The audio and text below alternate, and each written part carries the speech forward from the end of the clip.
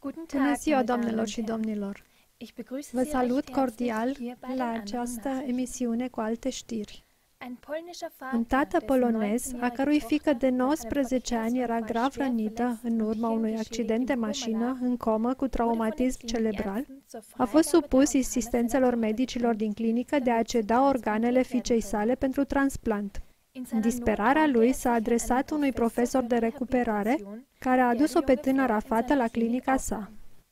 Profesorul dr. Jan Talar a pus în practică o terapie cu ajutorul căreia această tânără de 19 ani s-a însănătoșit complet, iar fata între timp s-a și căsătorit.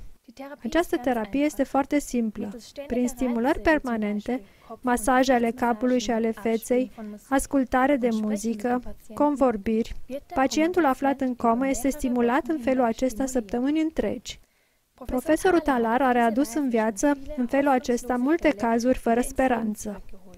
Totuși, el a trebuit să părăsească clinica în care a lucrat pe atunci, deoarece terapiile sale pline de succes dăunau afacerilor cu transplant de organe. Curajul tatălui nu i-a ajutat numai propriei fiice, ci a dus la o nouă terapie. Haideți să luăm un exemplu de la el. Ne bucurăm că ați fost alături de noi la programul nostru. La revedere!